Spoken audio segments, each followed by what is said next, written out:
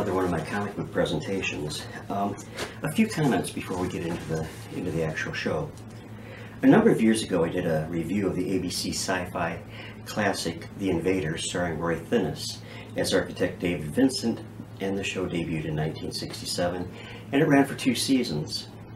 There were many tie-ins, including a Whitman hardcover book, a Big Little book, um, three paperback books as well, and a short-run comic series that was produced by Gold Key Comics. Had seen photos of the comic book covers, but never had actually had a chance to read one. Well, recently I came across issue number four online, and it, it was surprisingly good considering it was published by Gold Key. The story is titled The Doomsday Window, and it hit the stands in October of 1968. In 67, I was 12 years old, and uh, hysterically afraid of UFOs and aliens.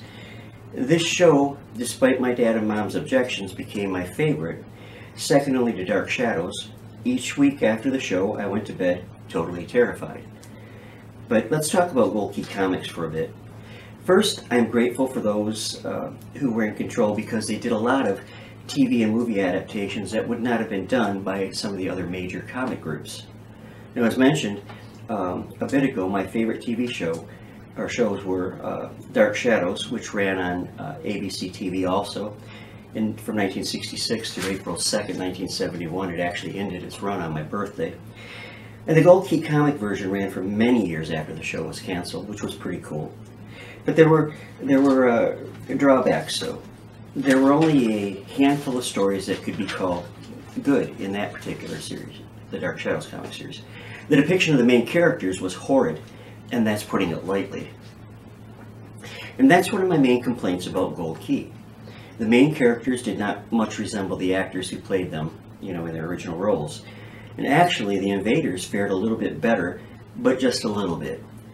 In a few of the panels in this issue, uh, David Vincent actually resembled Roy Thinnes.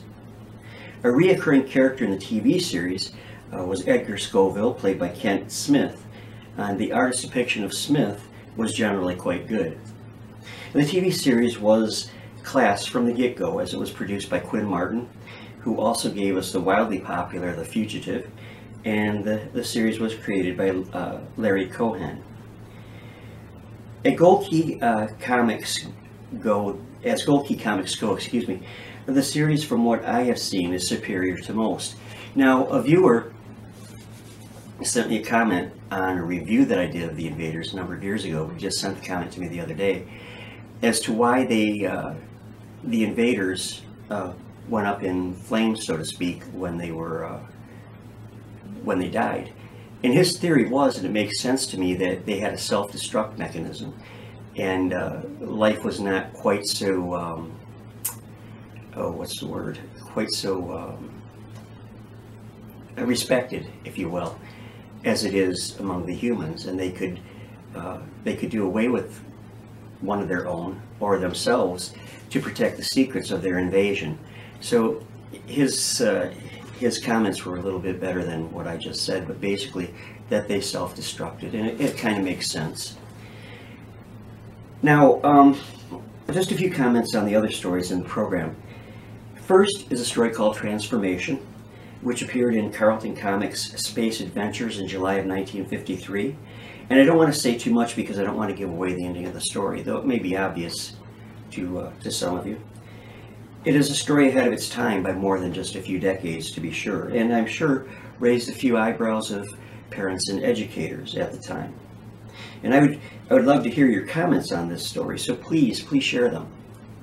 And then I decided to bring up the end of the show on, a, on something fun, a little bit juvenile story, but it's from Space, My, Space Mouse Comics, excuse me, published by Avon in the early 1950s, and it ran for only five issues. So I hope that you'll enjoy the program. I hope that you'll leave some comments for me. Uh, please give me a thumbs up. Those mean a lot to me. And uh, thanks for watching. Have a great day. Enjoy.